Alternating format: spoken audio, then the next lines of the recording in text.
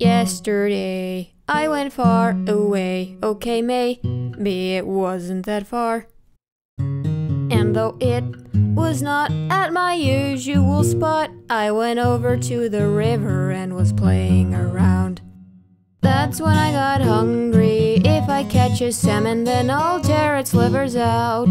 Get ready to be devoured if you're a rainbow trout. There, as I was fishing, was a panther, so asked her what was up.